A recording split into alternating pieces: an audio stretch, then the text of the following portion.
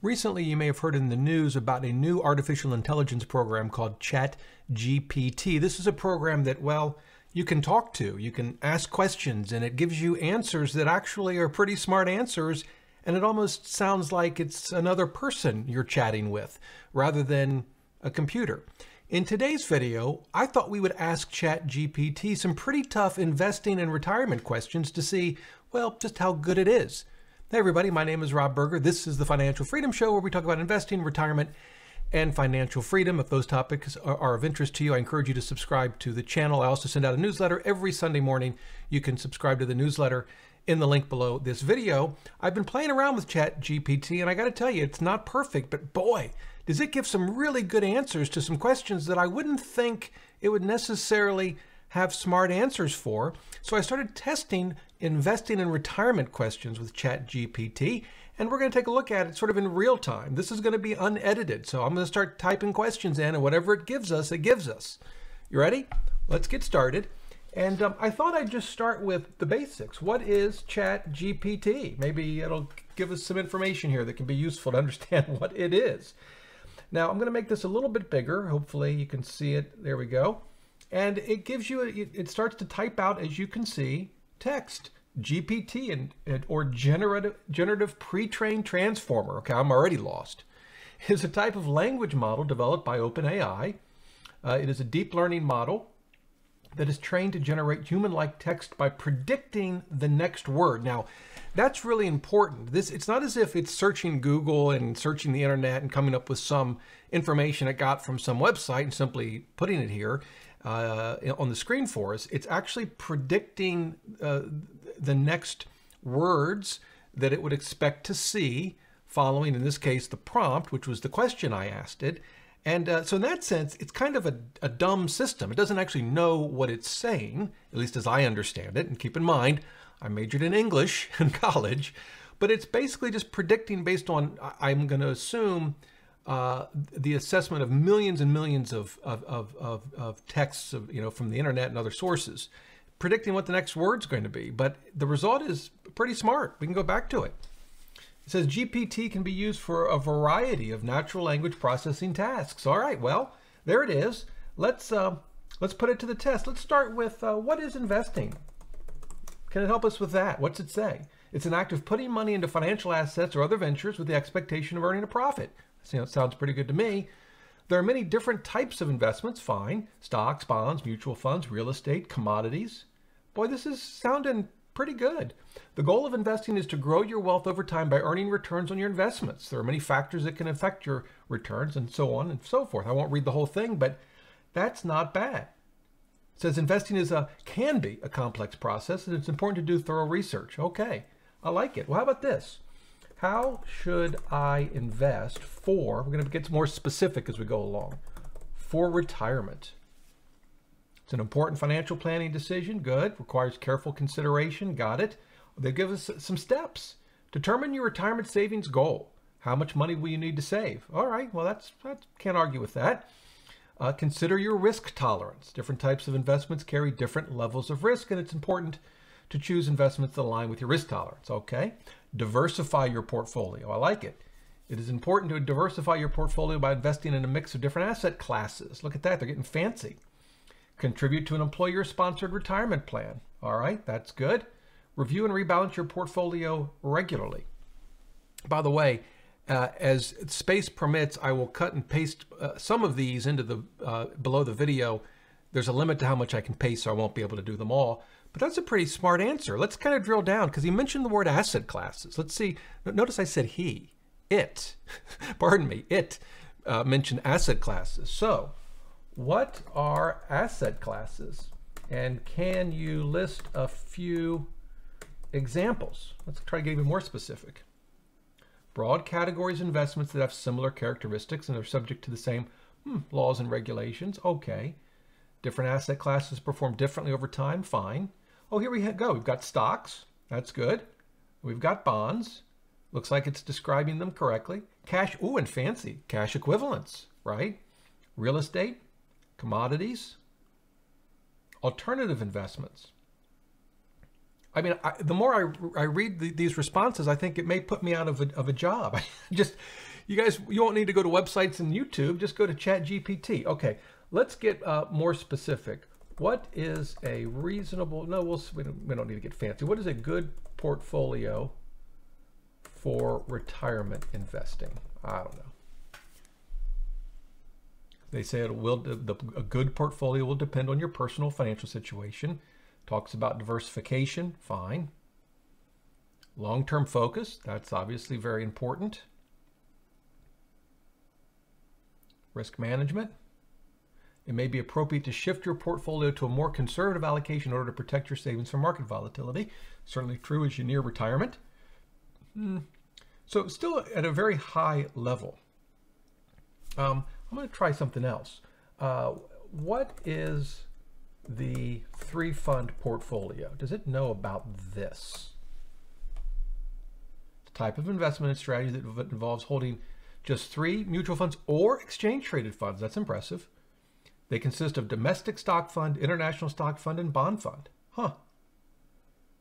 By holding just these three funds, investors can gain exposure to a broad range of asset classes. That's true. The specific funds included in the three fund portfolio may vary depending on the investor's goals. Okay. For example, an investor with a higher risk tolerance may choose a domestic stock fund that focuses on small cap stocks. Eh, I think it goes a little off the rails there. I wouldn't I wouldn't have a three fund portfolio and, and have all of the US stocks and small cap, but okay. Let's let's try something very specific. List uh, funds from Fidelity, Schwab, and Vanguard that I can use to build a three fund portfolio. I'm trying to get really specific here. Like I want the ticker symbols or the names of them. Let's see what we get. All right. Fidelity, Schwab, Vanguard. Oh, look at this. We even use colon and bullet points. And we've got tickers. How about that? Fidelity 500 Index Fund. Good. FXAIX. That's a good one. Fidelity International. Perfect. Total Bond. I mean, that's perfect. There you go. There's a Fidelity 3 fund. What do we get for Schwab? We get the S&P 500. Can't argue with that. International. Good. And we get the, the, the U.S. Ag Bond Index Fund. And for Vanguard, we basically get the same thing. It's interesting that it mixes, and this would, there's no issue with this, but it mixes an ETF here with two mutual funds, one here and one here. Uh, not necessarily a problem. Uh, personally, uh, I wouldn't pick that fund as I'd probably pick VXUS, but I mean, I'm just nitpicking here. This is, I got to tell you, that's a very impressive answer uh, from Chat GPT. I mean, that's with specific tickers. Now, one thing I do know, and I'll show you here, let's imagine we wanted the links to these. Uh, can you provide the links to each each of the funds listed above? And what we will learn, I'm pretty sure, yeah, I, guess it's a limitation right now of ChatGPT. Uh, it doesn't provide links to, to information on the web. So you, you know, you wouldn't be able to, to get links uh, to that, uh, in this case, to those funds. So let's try something a little more uh, theoretical. Our index fund, oh no, let's try it differently. Let's say, do index funds perform better uh, than actively managed funds? So they start off, chat starts off by describing what an index fund is. And from what I'm reading quickly here, that gets it right. Um, and then actively managed funds, on the other hand, are funds that are managed by a team of professionals. Good. There's an ongoing debate about whether index funds or actively managed funds uh, perform better. On the one hand, index funds have an advantage, this is good, of being low cost and providing broad market exposure. They also tend to have lower expense ratios. That's perfect. Actively managed funds may have the potential to outperform the market if the fund manager is able uh, to identify undervalued or underperforming securities. It is important to note that past performance, hmm, they don't really answer the question exactly. They kind of cover both sides, which I guess is fine. How about this? List studies that examine whether index funds outperform actively managed funds. See if we could actually get a list of studies. Wow, that's impressive. So SPIVA That is a well-known report that stands for S&P. It's come the S&P produces it. I is for index, V is versus, and A is active. And they regularly, yearly put out a report uh, that compares index funds to actively managed funds. I, have used it on the show before. And they give uh, at least to 2020 report uh, showing that over the five-year period, uh, we'll call it 83% of large cap funds, 86% of mid cap, and 85% of small cap underperformed their respective benchmarks. Interesting. And then we have a study published in the Journal of Financial Economics in 2015. Didn't give the name of it. They just call it a study. That's interesting. What was the, or what is the name of the 2015 study published in the Journal of Financial Economics? Sorry for my slow typing. I don't think it gave us the name. I wonder if it can. Oh, there we go. That's amazing. The persistence of mutual fund performance. The study was conducted by MIT, researchers at MIT, found from 75 to 2013 actively, actively managed large cap funds underperformed their benchmarks by an average of 1.5%. That's just amazing. So what I want to do now is, and let me see if I can get fancy here.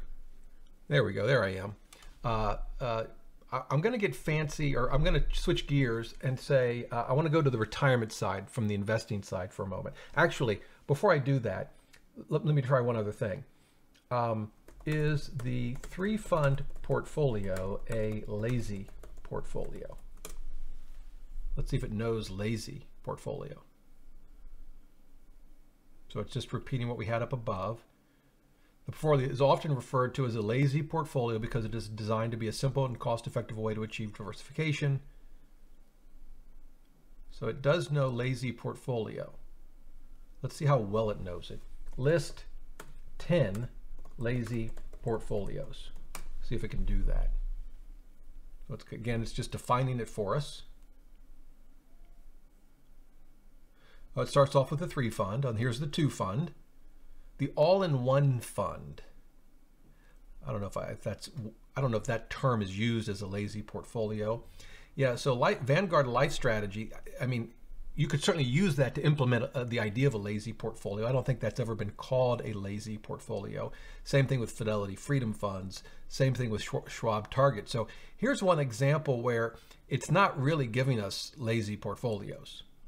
It's giving us funds and fund families one could use to implement a lazy portfolio. So that's interesting. It doesn't, it, it, for whatever reason, it's it's not giving us what I think anyway uh, of, a, of a correct answer. Okay, so let's switch to retirement. What is the 4% rule? See what it gives us here. Widely used rule of thumb for determining how much money you can spend in retirement. It suggests you can withdraw 4% of your savings in the first year of retirement and then adjust the amount for inflation each year thereafter. Excellent. It gives an example. That's impressive. Uh, it points out here that it's based on a diversified portfolio of stocks and bonds. Very true. Uh, here points out that it's a general guideline. It may not be appropriate for everyone. So it, it does a lot of, and this is important, but I think it you know it adds a lot of sort of caveats that, that, that one should add. Um, where does the 4% rule come from? Okay, telling us what it is again. That's fine. Here we go. Look at this. Introduced in 1994, correct, by financial planner William Bengen. Correct. In a paper titled Determining Withdrawal Rates Using Historical Data. That is correct. Now, this is not correct he's, it says it analyzed stocks and bonds over a 40 year period. He actually looked at, at, at, retirements beginning from 26 to 76. He actually looked at them over a 50 year period, although he considered, considered uh, retirement quote unquote successful if the money lasted at least 30. And ChatGPT got that correct. That's interesting. Um, so pretty pretty good all in all. Is the 4% rule still valid today? So again, we get the definition of the 4% rule. That's fine, I guess. It is important to note it's a general rule of thumb, right? Uh, right, true. There's ongoing debate among financial professionals about the validity of the 4% rule. Some argue that the rule is still useful. I'm reading here. Uh, while others believe that it may be too conservative in today's low interest rate environment. It's going to be too conservative. I would think it's the other way around. Hmm. How about this? List 10 papers discussing uh, the 4% rule. See what it can give us. So the first one is Bill Bengen's paper, 94. Uh, here's Guyton Klinger. We know them. If you if you follow my channel, we've talked about Guyton Klinger. Here's Michael Kitces' article, really good one from 2013. I know it well. Uh, I know number four from Blan uh, Blanchett. I don't know Kaplan, but that was 2014 paper. Wade Pfau's written a lot of papers on the on the four percent rule. Here's one from 2015.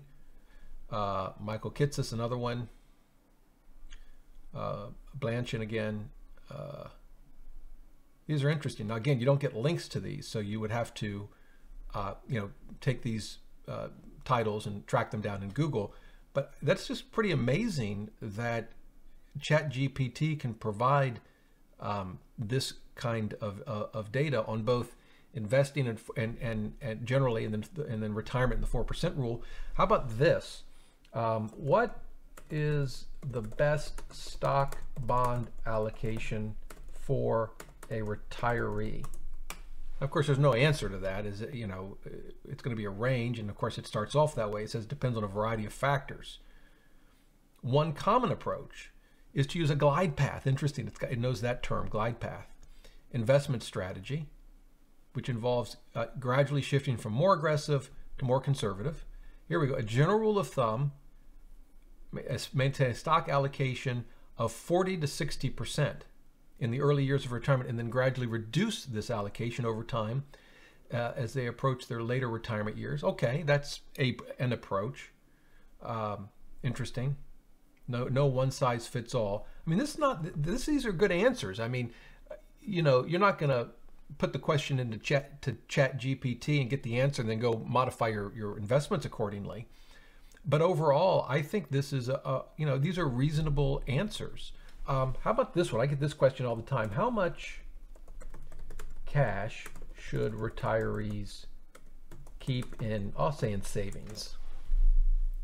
I get this question a lot. Talk about a sufficient emergency fund, that's fine. To cover expenses in the near term, yep, that makes sense some cash for investment opportunities. Hmm. All right. So it doesn't, it doesn't, of course, I wouldn't necessarily expect it to, but it doesn't like give a specific answer. Let's see this. What is the bucket strategy? See if it knows that. It's a financial planning approach that involves dividing your investments into different buckets. The idea behind the bucket strategy is to have a plan in place to manage your money uh, in retirement so that you have a steady stream of income. And it gives us an example. Short-term bucket, interesting. See here, one to two years. And it's mainly money market, short-term bond funds, high yield savings. The intermediate term bucket is three to 10 years. I'm looking here. Uh, a mix of stocks and bonds. It may include investments such as intermediate term bond funds. And then the long-term bucket. This is, I mean, that, that nails it. That's at least one version of the bucket strategy. Let's see if they know who created it. Who, I'll call, I'll say created the bucket strategy. We know the answer, right? Harold Evensky. But does ChatGPT know? 1996, financial planner Harold Evensky. That's amazing. Mentions the article, the year of the article, 96. That is very impressive. Okay. Will stocks go up or down in 2023? Uh, this is the best answer it could give. It's not possible to accurately predict the direction or performance of the stock market. It is generally believed that stocks have the potential. Okay, fine.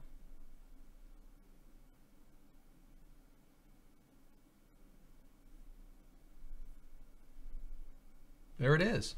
Well, I got to tell you, I, uh, I have been playing around with the tool a little bit before I started this video, but I am amazed at the answers that it can give, and I view it now as uh, a, another tool I'll use mainly for research. Uh, because it gives us information in a way that's fundamentally different than what Google or other search engines uh, give us. And you know, there's been some talk that uh, this artificial intelligence could uh, represent sort of an existential threat to Google. Uh, I, who, who, knows? Uh, uh, but this is sort of its, in some ways, its first iteration, and the information it's providing is excellent. One, one, one would wonder, could it, could it do what it does if the, the team behind it didn't have all of the documentation that exists on the internet? Because I gotta believe it's analyzed you know, tons and tons of, of, of written material. In some ways, it reminds me of the new neural net chess engines. In the old days, the old days, you know, 10 years ago, uh, the way you'd program a chess engine uh, or chess program generally would be a bunch of grandmasters would be part of the team.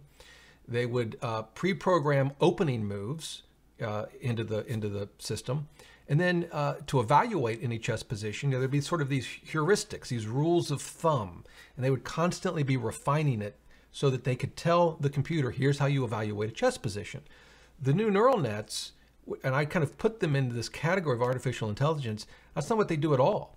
Uh, you know, they effectively, again, understand I was an English major, so uh, keep that in mind, but they effectively say here, here are the rules to the game, uh, computer program. Now you go and you play through millions of games that have already been played, and you basically teach yourself how to play chess. And those programs are now the best in the world, uh, and certainly can beat very easily, uh, maybe not easily, but will certainly beat uh, even the best grandmasters in the world. In some ways, ChatGPT reminds me of those those new uh, chess engines that have come out over the last few years. I can only imagine, as good as what, what we just saw from ChatGPT, what, what's it going to look like a year from now, five years from now, 10 years from now? I have the sense that it could sort of revolutionize, at least in some ways, um, how we re retrieve information and how we think about uh, information, in this case, on investing in retirement. But of course, uh, you could apply this to uh, presumably just about any uh, scope of knowledge that you wanted to, to, to learn about. And uh, I got to tell you, I think the, the, the, output that we got, they, they weren't perfect, uh, and there were some mistakes, but overall, I was very impressed. Well, there you go. That's Chat GPT. Some questions on investing in retirement. Uh, it's free to use, at least at the moment, so, you know, give it a try. Uh, if you have any questions, uh, I probably can't answer them, but I will try. So leave them in the comments below. And until next time, remember, the best thing money can buy is financial freedom.